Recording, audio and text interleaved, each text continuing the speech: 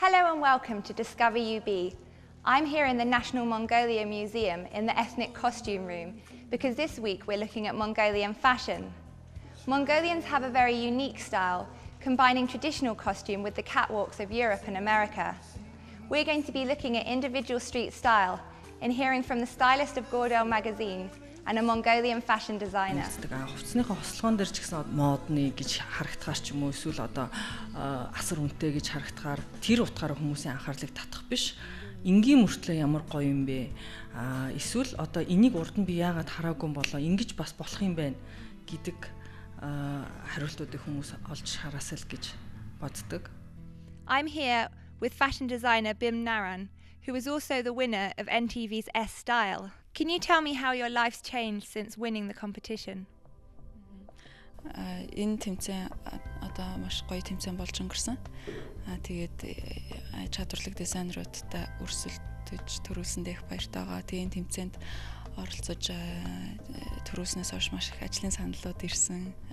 Захиалга маш их You've brought one of your designs here to show us.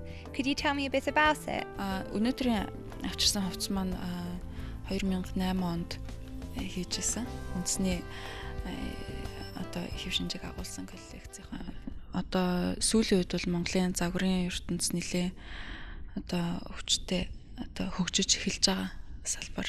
Thank you very much Bim Naran. Баярлалаа. Баярлалаа.